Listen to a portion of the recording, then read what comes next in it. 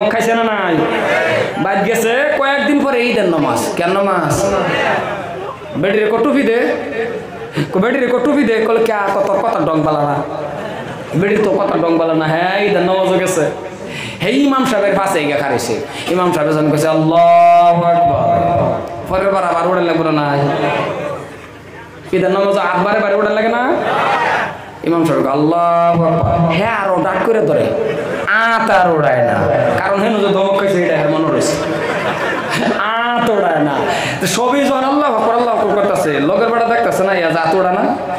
কথা কোনা ইয়া দেখে না না নমাজের পরে বেড়া ক কিরে আমরা লগে দেখা দেখি আটটা উড়াইতে না এর ওরা গুটে পড়ছে। এক কথাটাই গুন্ডা যায়। ওকে ক মায়ের জানা উড়াই ধমক খাইছে। কোন আড্ডা কই ফিটিং করছে? সুবাহি মক্তব্য না পড়ার কারণে। প্রত্যেকটা কথা কিন্তু আমার উদাহরণ আছে। আমি সেদিন কি করুন, এটা অন্যের কথা?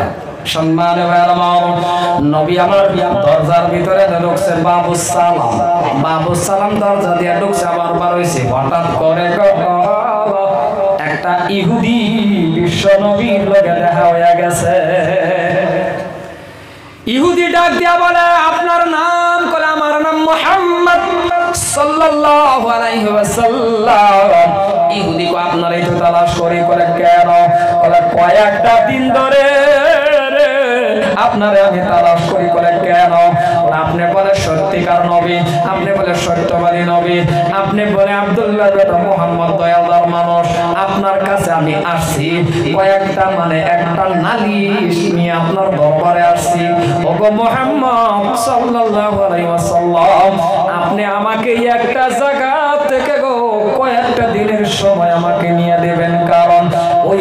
মানুষটা আজকে আমারে মারবে, আজকে আমারে কতল করে দেবে। আপনি যদি পারেন, দুই তিনটা দিনের সময় আপনি আমাকে নিয়ে দেন।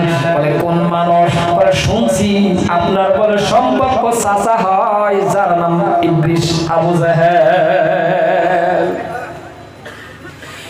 এই ঘটনার ভিতরে শিক্ষা আপনি ডুহাইবেন যে কেমন শিক্ষা? ইহুদির এত জ্বালা কেন উঠল? তার মানে আবু জাহেলের মক্কার ভিতরে বাবা, একটা নিয়ম আছে। তার অন্য দুয়ার ভিতরে বসে বসে নিয়মগুলি পালন করত। তার পার্লামেন্ট আছে, তার মানে উলুই তার বৈঠকখানা আছে। কোন মানুষে যদি টাকা দিত নির্ধারিত একটা সময় লিপিবদ্ধ করে দিত। ওই মাসে মাসে টাকা না দিতে পারলে ওই মানুষটারই বাবা তার অন্য দুয়ার মধ্যে তারা আক্রমণ করে।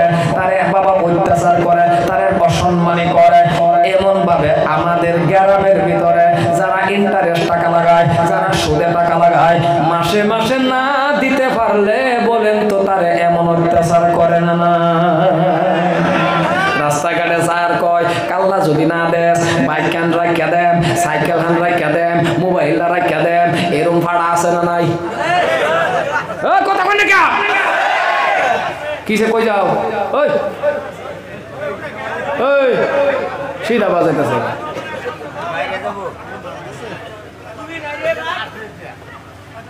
কোনটা জানি, মনে হয়েছে আল্লাহ জানে।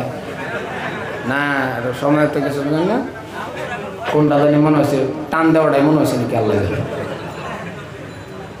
সম্মানে নাই? তেমন ভাবে আবু জাহেলের খাস্ততের লগে খাস্ততটা মিলায়া যান, না অসুবিধা হইব।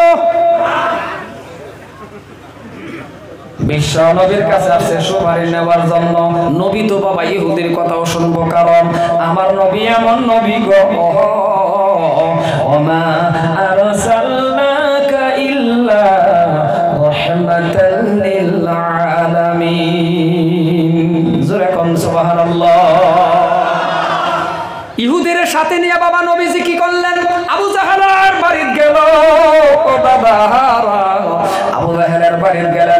মানে কয়েকটা দিনের সময় লয়া দেওয়ার জন্য ইহুদির আজকে টাকা দেওয়ার তারিখ, ইহুদির হাতে টাকা নাই, নবী গেছে টাইম লয়া দেওয়ার জন্য।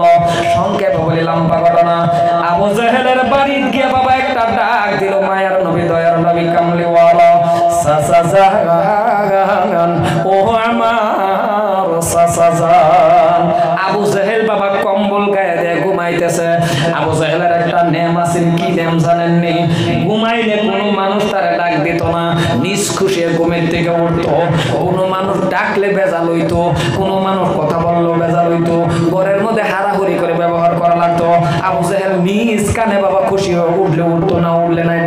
সিস্টেম নাই। বলেন তো রে বাবা, এমন খাসলতের মানুষ আমাদের গ্রামে আছে না না? ঘুমাইলে ডাক দিলে মাথা জুড়ে বাড়ি, বেড়িরে উঠতে মারে, ফুলা পান্ডে মারে থেন্নাই থেন্না মারে কয়টার গাড়ি তো টিপা মাইরালা।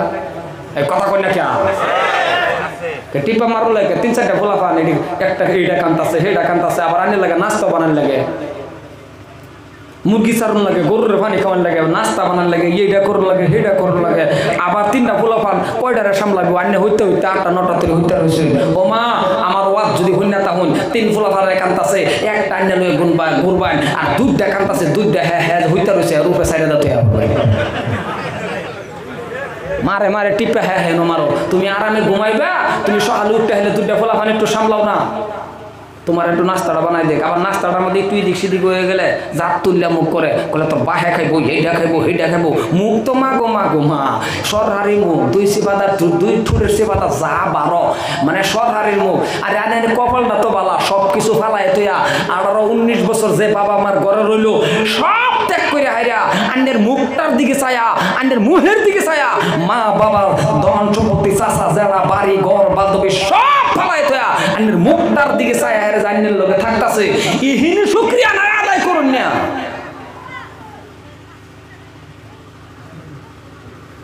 কথাটা বলছেন না হজরত তোমার ফারুক কিরম গরম নবী না? তাই গরম সাহাবানা জোরে বলে আস্তা করুন হজরত তোমার ফারুক গরম সাহাবানা যে বেড়া লাগে শয়তানে ভয় করছে। এক বেড়া মনে মনে কো আমার বেড়িটা খুব জ্বালা যন্ত্রণা করে, আমি আজকে উমরের টান বেচার দেন আমার বেড়িটা খুব জ্বালা যন্ত্রণা করে না, আমি উমরের টান বেচার দেন তা হজরত বা ফারুকের বগল গেছে, বেডির বিচার দিবার হ্যাঁ বেডির বিচার দিবার হ্যাঁ বেডির জ্বালা যন্ত্রণা করে। গে দেখে হজরত উমর ফারুকের লগে হুনার বেডি যায় বাবা কথা কইতাছে। ইয়াকো আমার বেডি শতে গুণে বাবা আছে। সুবহানাল্লাহ কয় না। আমি নু আইছি আমিরুল মুমিনিন, খলিফাতুল মুসলিমিন তার টান বিচার দিবার। যে ব্যবহার হেলার লগে চালাইছে আমার দেব অনেক ভালো। কথাটা বলছেন না তো নজরত তোমার ফারুক বার হয়েছে এবারে এক সাহাবা কি, আসসালামু আলাইকুম, যাইয়া। হজরত তোমার কেলে আসলাম কছে এর লেগে আসলাম এটা ভাইছি আমারটা বহুত বলা। সুবাহ না দেখছ? ওরা আরে খুললা ক আসলাম আইনের টান বেশি বিচার দিবার আমার বেটিটা আমার খুব জ্বালা যন্ত্রণা করে। আয় আদি আইনের তো আরও একশো। তাই যে কিছু কইলেন না। হজরত ওমর বলেন শোনো সাহাবা আমার জ্বালা যন্ত্রণা করে আমি কেন সহ্য করলাম? আমি চিন্তা করলাম আহারে আঠারো উনিশ বছর বয়স।